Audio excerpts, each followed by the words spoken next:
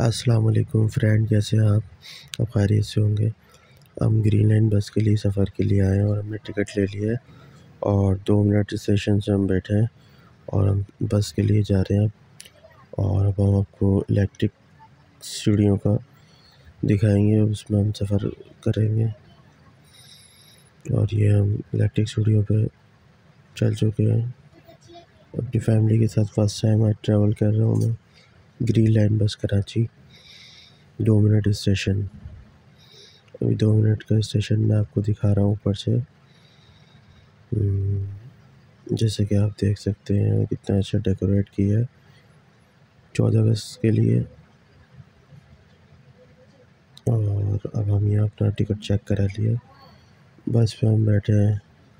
मगर बस के अंदर रश बहुत था इसलिए वापसी बाहर की तरफ़ आ गए हम। ये बस जा चुकी है। अब दूसरी बस का वेट करेंगे। ये हम बस में बैठ गए हैं। और ये बस के अंदर के मनाजिर मैं आपको दिखा रहा हूँ। बहुत अच्छा खूबसूरत है। बहुत अच्छा मज़ा आया ट्रैवल करने में।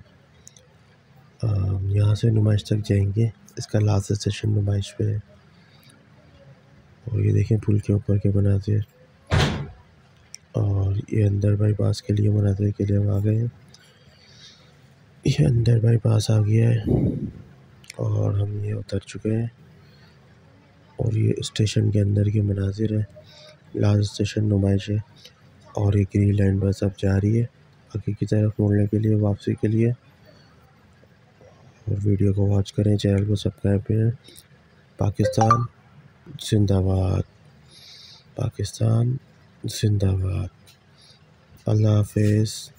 अपना ख्याल रखिएगा। चैनल को ज़रूर सब्सक्राइब करें।